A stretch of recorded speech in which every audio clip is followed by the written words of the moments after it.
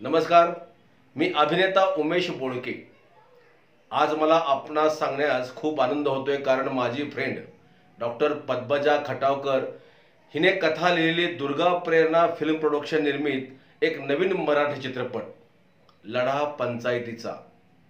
दहा मार्चपासून संपूर्ण महाराष्ट्रात प्रदर्शित होतोय. एका खेडेगावातील पद्मजाने आपल्या पाठी कोणताही गुरु नसताना कोणतीही पार्श्वभूमी नसताना व कोणताही अनुभव नसताना चित्रपट निर्मितीचा मोठा पर्वत उचललाय. ही काही सोपी गोष्ट नाही मित्रांनो.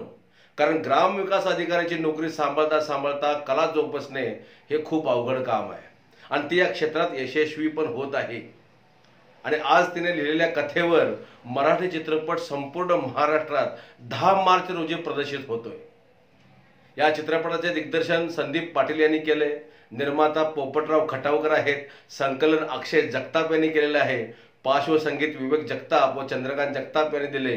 तर यामध्ये संजय खापरे सुनील गोडबोले बीडीओच्या भूमिकेत मी स्वतः उमेश बोळके आणि एन डी चौगरे भक्ती चव्हाण राम हरी मिसाळ सचिन कांबळे सचिन डोंबाळे अशा खूप कलाकारांनी याच्यामध्ये भूमिका निभावल्या.